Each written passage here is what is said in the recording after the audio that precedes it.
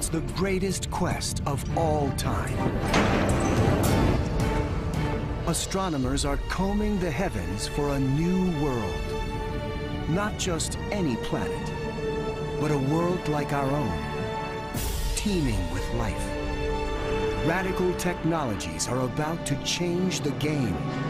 If they succeed, astronomers will bag the ultimate prize. A discovery so profound, it will transform human destiny.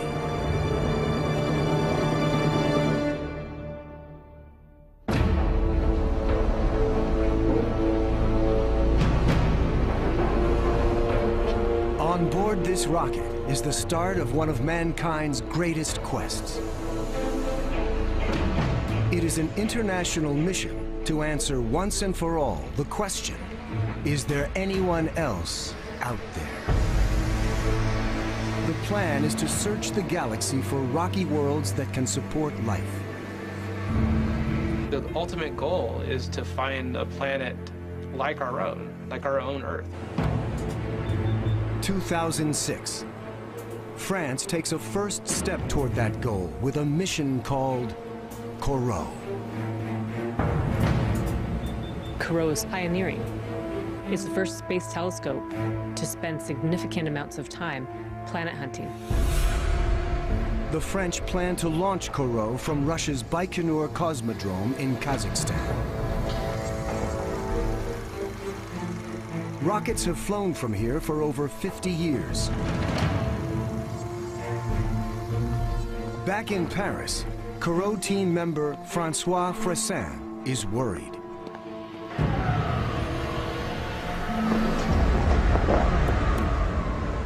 The launch is scheduled for the end of December. Temperatures are extremely cold, around minus 20 degrees Celsius. Freezing temperatures make rocket parts brittle. A fact learned the hard way by NASA.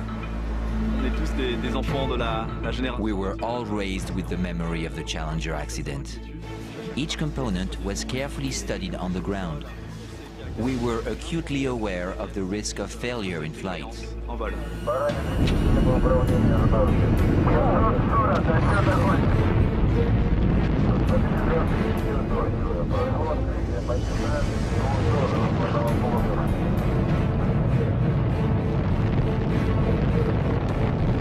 The rocket releases Corot over 500 miles above the Earth.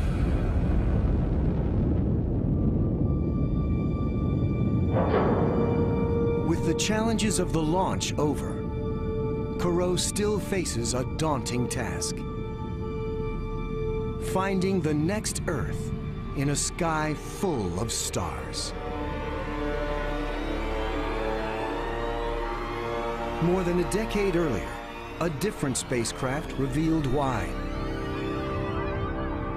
In 1990, Voyager 1 created a portrait of our entire solar system. The star dominating this photo is the Sun. Roughly a million times bigger and some 10 billion times brighter than our planet. We are lost in its glare. Adjust the brightness of the sun, and this tiny blue smudge appears. As seen from the edge of our solar system, four billion miles away.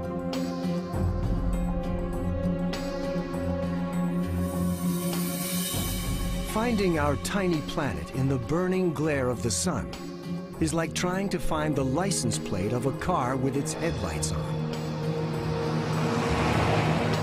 But Corot introduces a powerful piece of technology. It combines four CCD detectors with an 11-inch aperture. Two of the four are dedicated to finding planets by observing transits. Euh, a transit occurs when an object passes in front of one of the many stars being observed by Corot, thus dimming the light from the star. But other things can mimic a transit, like sunspots. They cause a star's brightness to dip, but they're erratic and temporary. If a star dims at regular intervals, the Corot team will know they've found a planet. And the race to be the first to find the next Earth is about to heat up. 2009. At the Kennedy Space Center in Florida, a Delta II rocket rolls out to pad 17B. Like a space-age pit crew, teams of engineers adjust and readjust every working part. To launch its payload, the rocket will burn nearly 40,000 gallons of fuel in less than five minutes and will race from zero to Mach 1 in 35 seconds.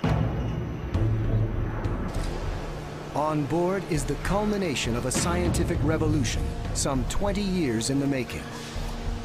The Kepler Space Telescope. The latest achievement of American spaceflight, designed for one purpose, finding the next Earth.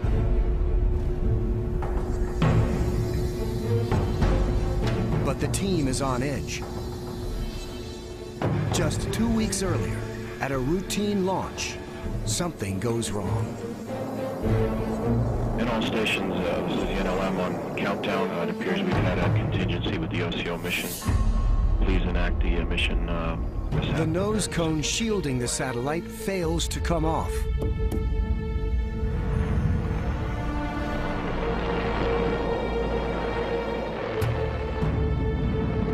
The mission is a total loss.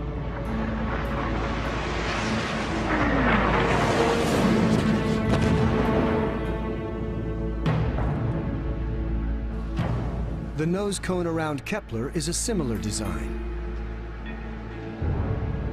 A pre-flight inspection checks out okay, but nerves are raw. We're putting this instrument that we've spent a large portion of our careers thinking about designing, planning, building, fine-tuning, engineering, all of that.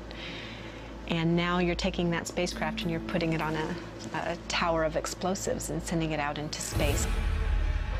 22 seconds.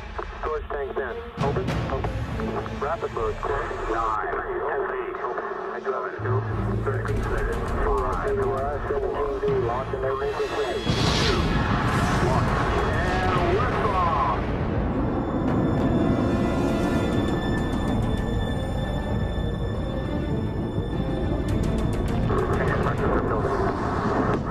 good. Increasing at this time. Well, the solid motors take the pressure. It's now or never. The nose cone must break away.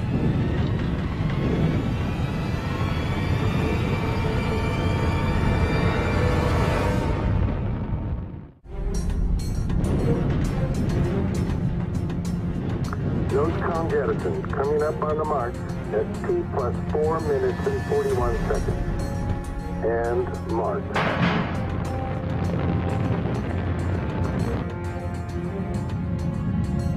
For the Kepler team and the mission to be first to find the next Earth, it's showtime for their new space telescope.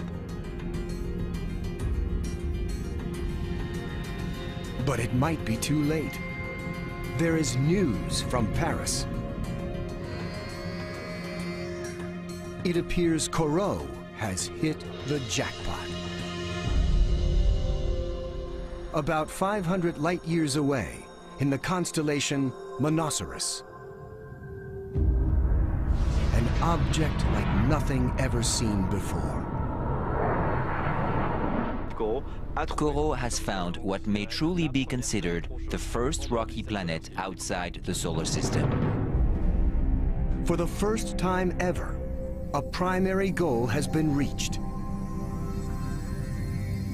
A world made of the same rocky materials as our home planet has been found. The planet is designated Corot 7b.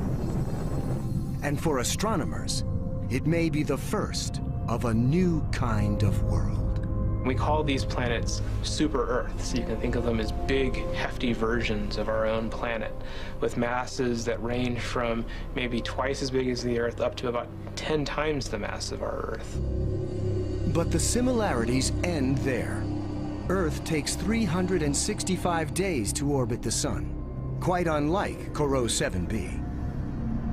A year on Corot 7b lasts only 20 hours, so the conditions must be absolutely different from what we know here on Earth. Which means Corot 7b is close to its star. Too close. Surface temperatures average 3,600 degrees Fahrenheit. Volcanoes may rule a tortured landscape.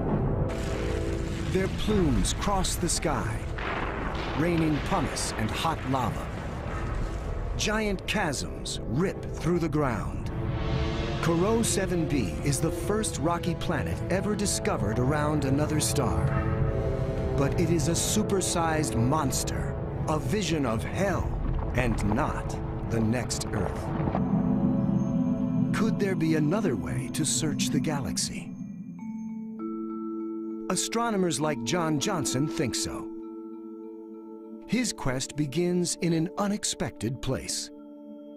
Inside a rainbow. This is the spectrum of a star, just like our sun. And what we're seeing is the light from that star split up into its constituent colors. But the rainbow is not perfect. Stretch it wide enough, and gaps appear. Johnson hunts for planets by tracking the subtle shifting of these gaps. The locations of these lines does subtly change over time if the star is moving. But what could cause a giant star to move? What would cause a star to do that is an orbiting planet. The planet tugs on the star, and the, and the planet will actually cause the star to accelerate periodically. But the tiny gaps in the spectrum can also reveal the chemical makeup of a star, and they can do the same for a planet. This group of black lines comes from our own atmosphere. It is the chemical signature of Earth itself, a planet filled with life. Johnson dreams that one day he will be the first to find this sequence around another star that little regular sequence of black lines on a spectrum, that's Nobel Prize material right there.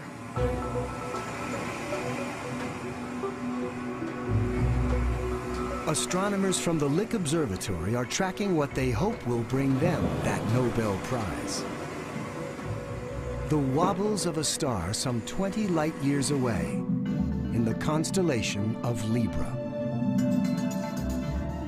Like John Johnson, astronomer Steve Vogt uses the rainbow spectrum to see the wobbles.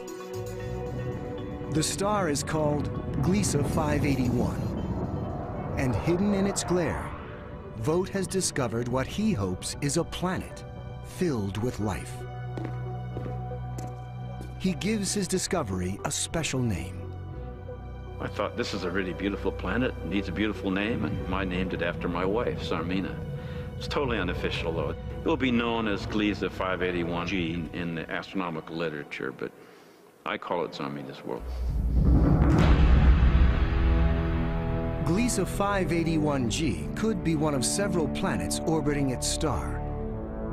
And because of its size, it could be a super-Earth, like Corot 7b. Well, it's a good place to be a realtor because it has about two to four times the surface area of our planet. You'd feel a little heavy. You'd be maybe one and a half to two times heavier, so you'd feel a little tired, but you could walk around. Zarmina has something in common with our moon. Just as one side of the moon always faces Earth, one side of Zarmina's world always faces its sun. Depending on where you were, the sun would be fixed in the sky. So if you were on the daylight side, it would always be daylight. If you were on the nighttime side, it would be perpetual nighttime. The land on the day side is a vast, forbidden desert. roasted by killer solar rays. On the opposite side of the globe is a land of perpetual darkness, a realm of frozen waste dominated by a massive glacial sheet. Yet hidden along the edges is a narrow transitional zone that spans the globe from pole to pole. An oasis locked between two brutal wastelands where life could exist. I would be pretty assured that some form of life would have taken a foothold there. Or does it?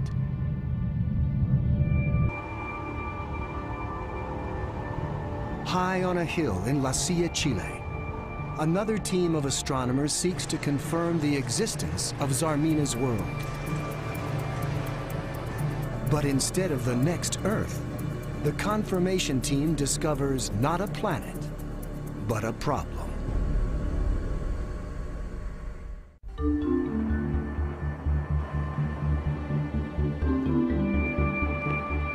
The same team of Swiss astronomers who were able to confirm four other planets orbiting the star Gliese 581 is baffled. No matter how hard they try, they cannot find Zarmina's world. The team is left with only one conclusion. Zarmina's world does not exist. Perhaps this elusive planet, with its promise of life, may reveal itself again sometime in the future.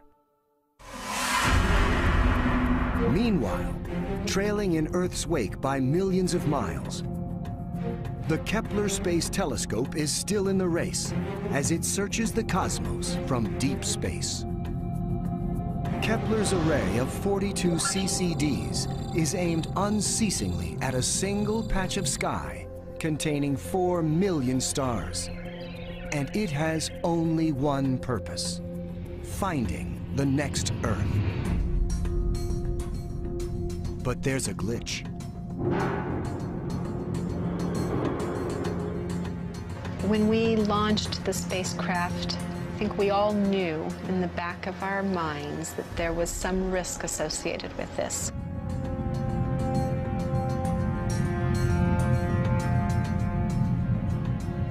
Environment out in space is not completely benign. There are micrometeorites,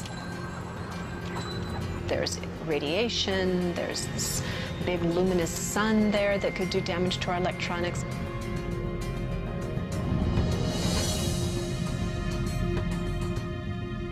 And here, just a few weeks after launch, we have a safe mode. A safe mode happens when the spacecraft thinks something is wrong. An alarm gets tripped. It's a series of instructions that we give to our computers that tell the system to shut down completely. When you turn off the electronics, the temperature of the spacecraft and all of those components inside changes. They begin to actually cool down because the electronics, when they're on, it keeps it warm. Temperatures in space can reach a lethal 460 degrees below zero. That made us all very nervous. We wanted to very quickly assess exactly what it was that happened, why it happened, was it something really potentially dangerous, and if it was, did it damage anything on board? If the spacecraft were to die, we would not be able to find the true Earth analog, and years of our lives would then be for naught. Hours pass while the team searches for the cause of the safe mode. So we hold our breaths, waiting for that assessment. At last, the team makes their report. Yes, everything was okay. It was not slewing over towards the sun. We didn't get sunlight streaming down into our telescope. Everything checks out. Everything's okay. Let's go ahead and power back up. As the spacecraft reboots, mission scientists lament the true cost of the safe mode. the loss of precious data.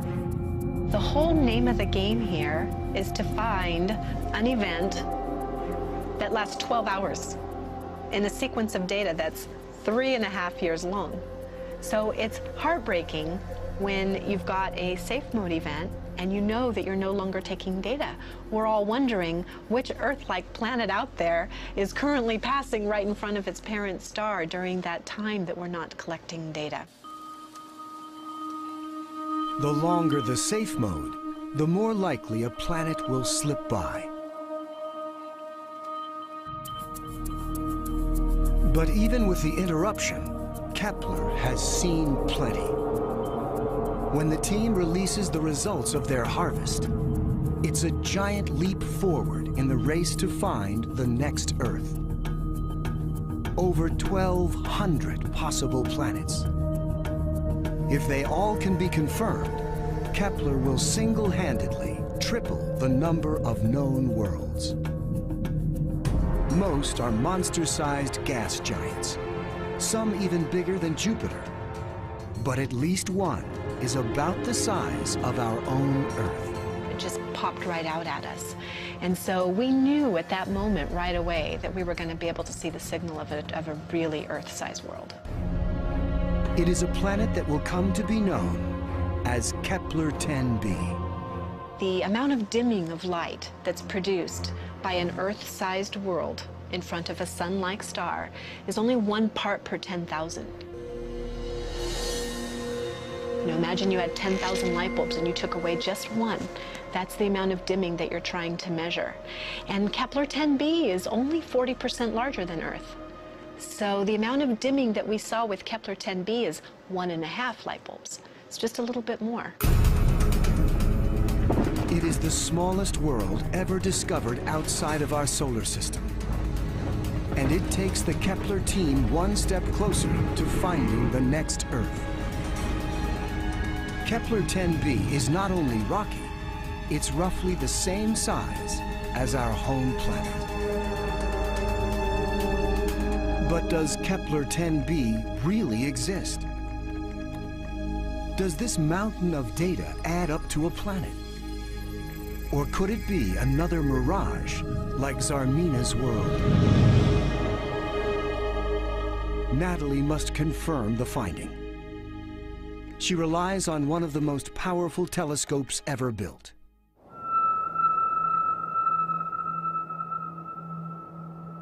It stands at 14,000 feet on the shoulders of a dormant volcano. Because it is so difficult to access, Natalie, like most astronomers, works remotely with this marvel of technology. Today, she has come to the cold summit of Mauna Kea, Hawaii, to see the Keck telescope in person for the first time. Keck veteran Ron Lobb has worked at the observatory for years. Welcome, welcome, Natalie, Hi. to the Oh, Keck telescope Oh, and the awe-inspiring 10-meter primary mirror. The majority of my career has been based on this telescope. I've been waiting for a long time to see this Right. instrument. This is, this is amazing. I'm sorry, don't laugh at me, I'm That's sorry. okay. It's quite all right. Oh, she's beautiful. They were testing this segmented mirror when I was a graduate student. They had never constructed a segmented mirror like this before. This was the first. Each of Keck's twin telescopes consists of a giant 33-foot mirror. These mirrors are made of 36 hexagonal segments that weigh almost half a ton apiece. Small motors in the back of every segment keep them working together as a single giant mirror. Keck also combines this telescope with a high-powered laser. The laser tracks and removes the distortions in the air that cause the stars to twinkle. This makes Keck one of the most sought-after telescopes in the world and one of the best places on Earth to confirm a discovery. We have to compete with other astronomers for time on this telescope. The whole Kepler project only gets 20 nights a year. So we have to be very choosy about the planet candidates that we pick to confirm here. Natalie shares her data with Ron. The existence of Kepler 10b is confirmed. Every single dot is marking a transit. There's just a forest of transits here in this data. So these are Kepler 10b. They're so close together because the orbital period is so short. This means Kepler-10b is extremely close to its sun and blowtorched in the solar heat. We look at these charts and graphs, and we tend to forget about the reality of that planet. Could life as we know it exist on Kepler-10b? Natalie Batalha decides to find out. She joins planetarium director Shawn Laatsch to find a place on Earth that resembles this burning planet. The Hawaiian Islands arose from the sea some 70 million years ago, forged by the power of volcanoes. And today, Shawn and Natalie are going to use that power to travel to another planet. Here, what do you think that, you know, uh, Kepler 10b would look like?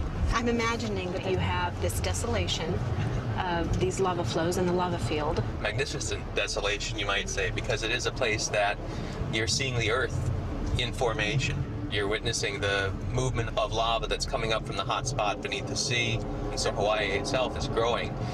Natalie and Shawn are at the Kilauea lava fields on the big island of Hawaii. You can start to see, of course, yeah, this really black Look how area. dark it is. This flow is Oh, only wow. a few years old, which is pretty amazing.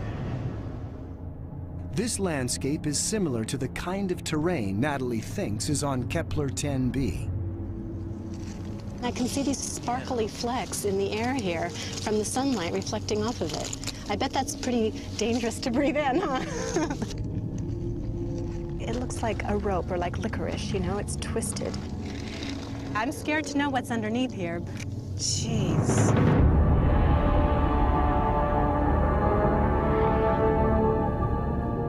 Like Zarmina's world, Kepler 10b keeps the same face towards its sun. One side trapped in everlasting day, the other side in eternal night.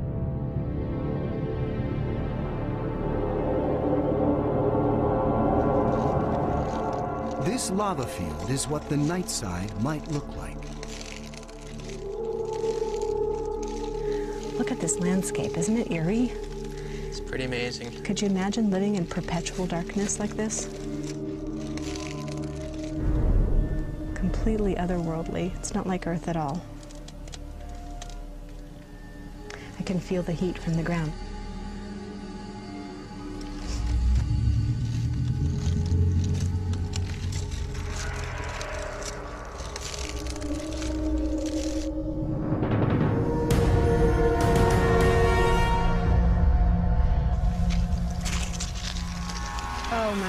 Getting so hot. Yeah, this is this Holy incredible, and you can see the Oh my flowing god. up there, there through there It's and up from top. flowing.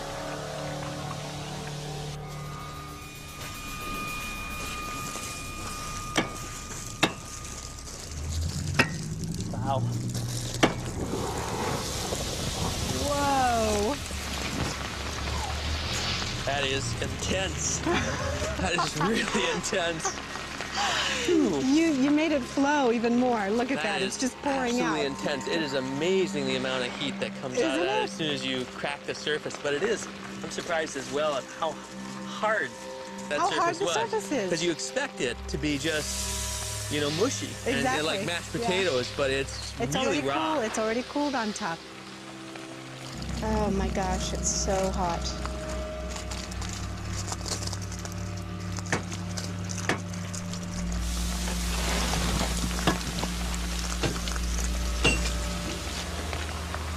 Here's our sample of Kepler 10b.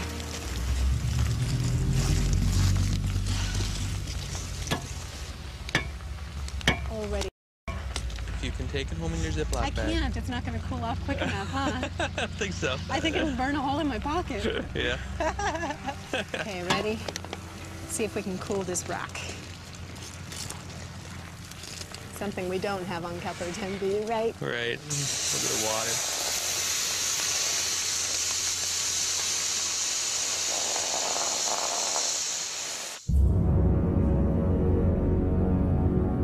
Conditions on the night side are extreme. Life as we know it could not exist. But nothing on Earth compares to what's on the day side.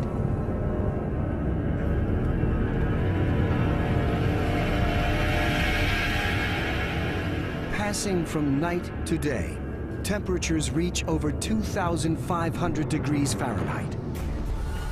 Hotter than a blast furnace. The hemisphere is dominated by an ocean of molten lava.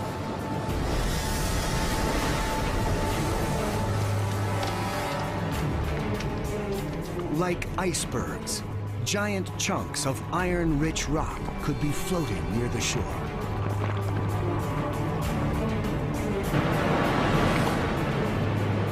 Streams of lava tumble over numerous lava falls. Kepler 10b may be a rocky planet nearly the same size as Earth. But it is a world hostile to life. And yet thousands more planets are waiting to be explored in the search for the next Earth. Can astronomers actually find it? Or are we alone in the universe?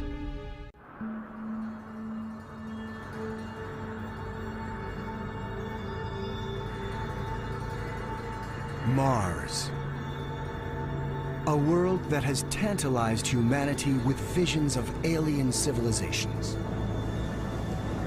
But this is not Mars. It's Death Valley. Astronomers Sara Seager and Oded Aharonson have come to this otherworldly landscape on a search for life. It's not too hard to imagine that we're actually not here on Mars Hill in Death Valley, but actually in a very similar place on Mars.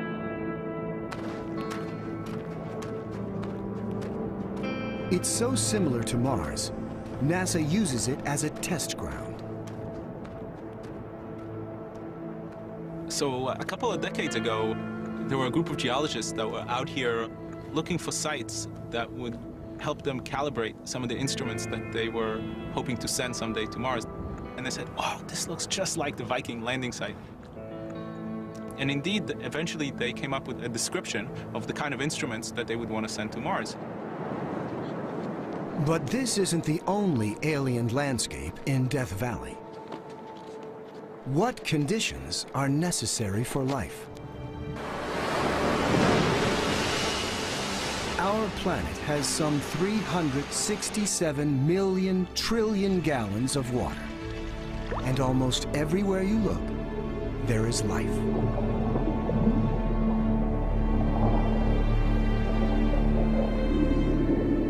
But here in Death Valley, life can be difficult to find.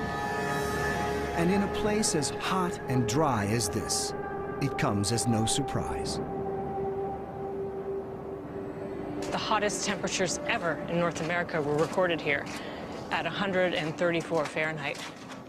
This is one of the most inhospitable places on Earth.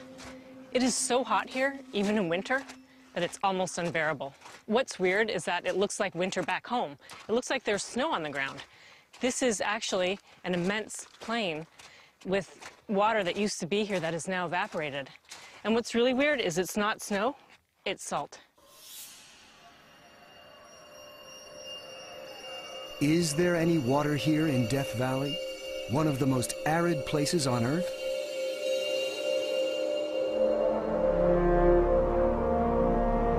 Sometimes, when it rains.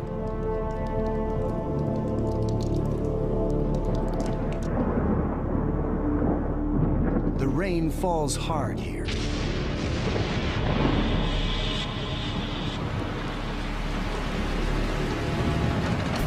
Sweeping away almost everything in its path.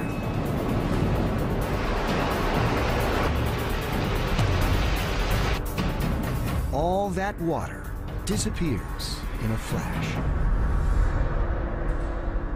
Was this place filled with a lot of water at some point? It wasn't a lot of water, but uh, every so often you get a rain uh, storm that Uh-huh. floods the plains around here, and then the floodwaters uh, uh, stream through these valleys, and then they form these uh, muds that you see Wow. here that flake pretty easily. Quite Yeah, a lot, yeah. actually. How long do you think the water stays here for? Oh, probably a few days.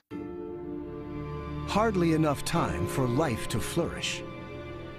Can anything survive year-round in an extreme environment like this?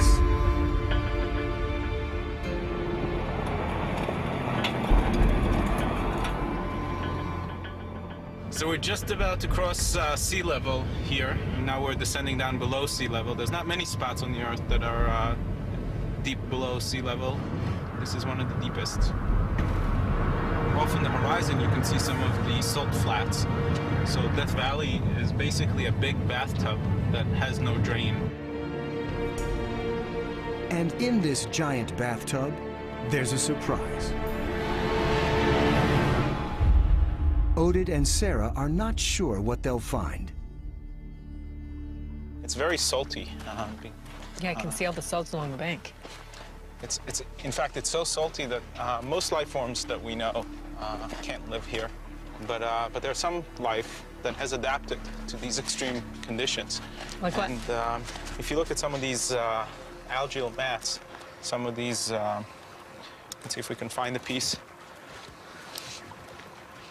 Um, so there's, there's algae that grow here. Um, these are algae that, that really like salt. They're called halobacteria. If there's salt here in this creek and life is here, you can bet that there's an exoplanet somewhere where all the watersheds are this salty and where there is abundant life.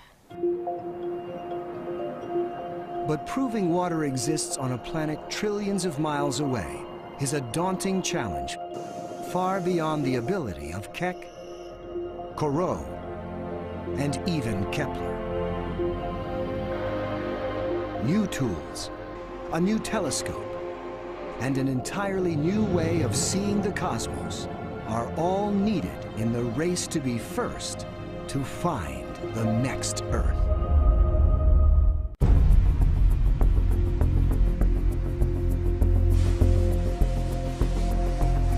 In secure, clean rooms all across the nation, the future is under construction.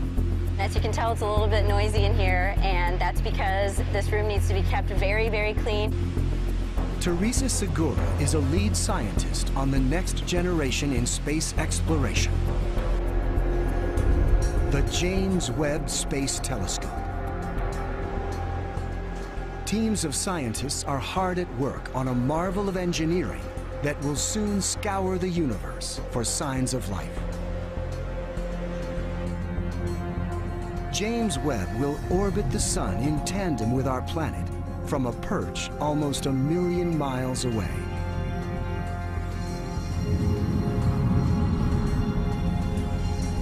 The telescope's precision optical system only works in the extreme cold of space, where it's some 400 degrees below zero. And solar heat can destroy Webb's delicate electronics. Out here, repairs are impossible. So a powerful new sunshield is in the final stages of testing. The Webb telescope's sunshield is the size of a tennis court and functions a little bit like an umbrella. This is more than a giant umbrella.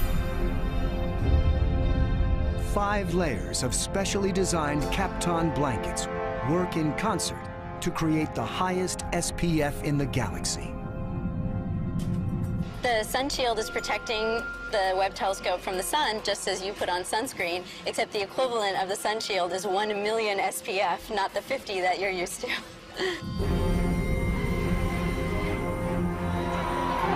Unlike most other telescopes, Webb will search for the next Earth in an invisible part of the spectrum called the infrared. That's because viewing the universe in the infrared allows the telescope to peer through dusty clouds and see farther and more clearly into deep space than in the visible range. The Webb telescope is the largest infrared telescope ever built, and it operates in the infrared because it's looking for very faint objects. You can think of infrared as heat. You can feel heat, but you can't actually see it with your eyes. Another good example is night vision goggles. You can't see at night, but when you put the goggles on, you can see things around you because the goggles function in the infrared. But the Webb telescope is like night vision goggles on steroids. Webb's ability to see faint light is so good that it would be able to see a night light on the moon from a spot on the Earth. It is the most powerful infrared telescope ever designed. Transporting this collage of mirrors, kapton, and electronics into space presents an enormous challenge. It is actually wider than a two-story building is tall, and because of that does not fit in any current uh, rockets. And so we had to segment it, and that is make it into 18 individual segments so that we could fold it up, sort of like origami, and fit it into the rocket. So we could consider it the origami telescope.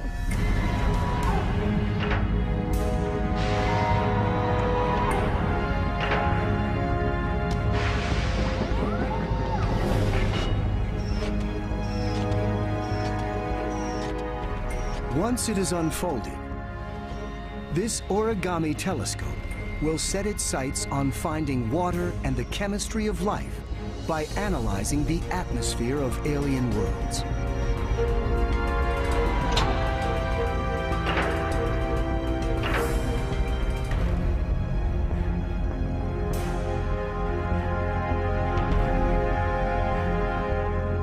James Webb can detect the key ingredients for life, that being carbon dioxide, carbon monoxide, methane, and water.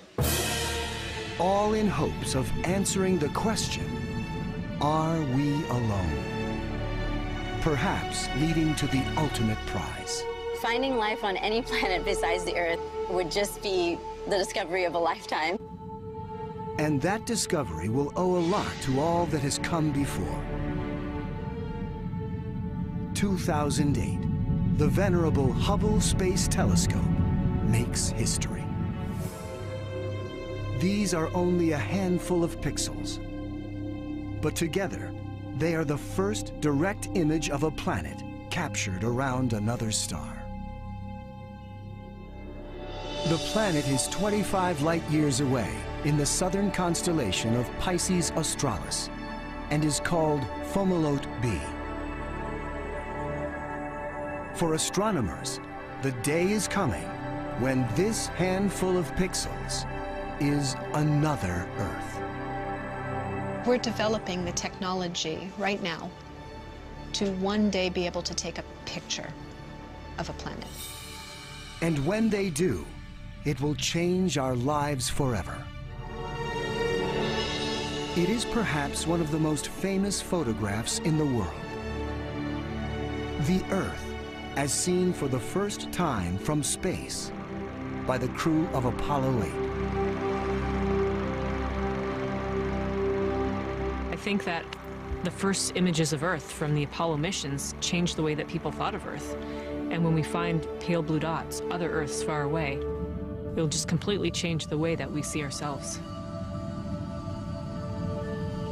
It's very different to actually know, to be able to look up in the sky point to a star and say, I know that there's living creatures right there, right there.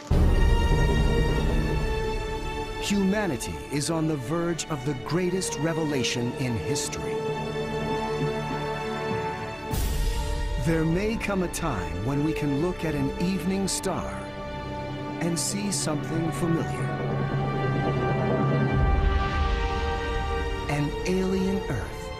Its own civilization, looking right back at us.